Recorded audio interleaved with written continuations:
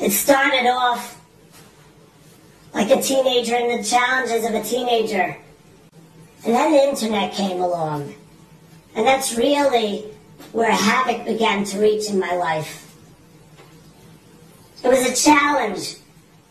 It was an impulse. It was a draw. You could call it whatever you want. But it sucked me in. It was filled, it was a life filled with shame on the inside. And all I knew was my own actions. I didn't know about anybody else's actions. And I fought it. I mamish fought it. You know, we're in now. I considered myself an Elul Elul was the only time of the year that I had a reprieve. And I and I made Elul last as long as I could.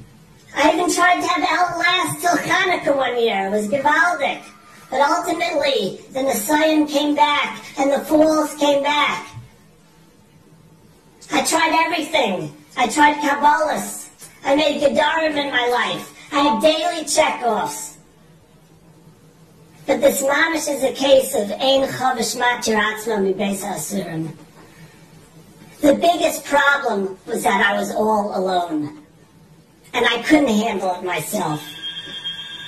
I didn't realize it until later, but I was in the process of forming an addiction. And I tried everything. I didn't want this. I was growing, but this was growing with me. Then the feelings became bigger until the point that I felt my life was out of control. I was,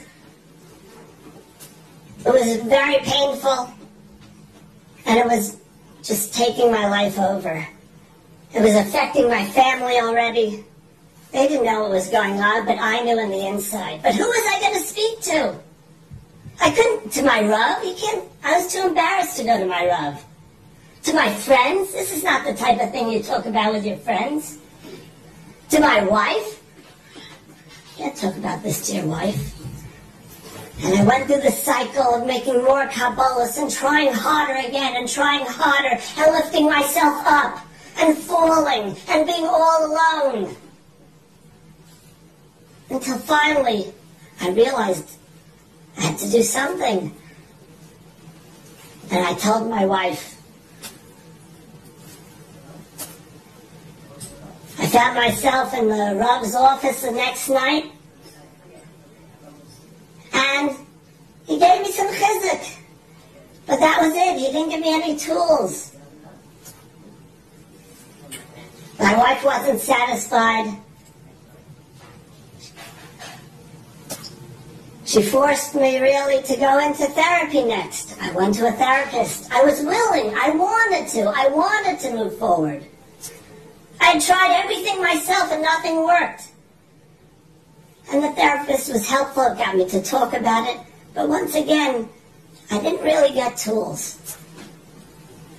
But the biggest Hakaras Hatov I had to him was he'd said, why don't you sign up for the Guard Your Eyes daily chizuk? And I did. He signed me up. And I started to get these emails.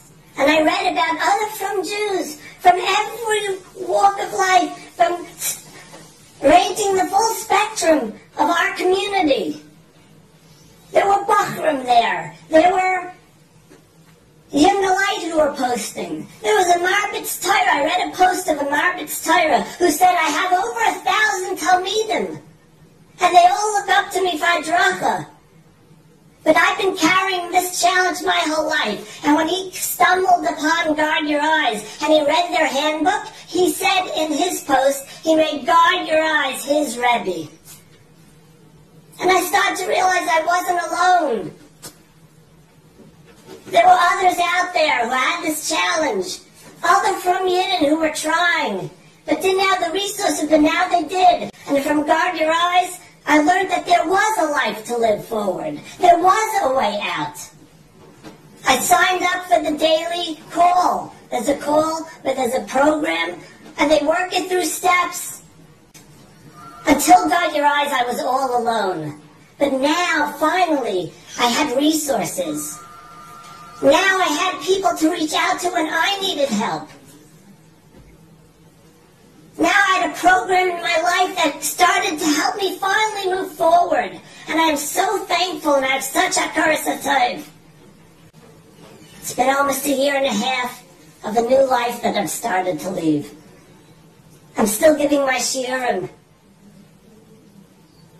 But now, I'm a better father.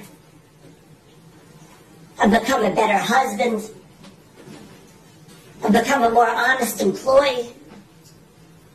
This summer, I was able to work on Taharas HaMachshava.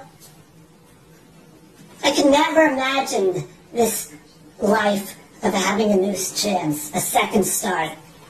I thought this was going to go with me my whole life because I was stuck. You know, on the daily calls that we're on, so our leader wasn't, he wasn't available one day. So he asked me to lead the call that day. I was happy to be of service, and I led the call. And during the call, and it's an anonymous call, so we're on the call and I'm leading the call, and a newcomer stumbles on. And you could hear in his voice how appreciative he was. He found, wow, he couldn't believe it.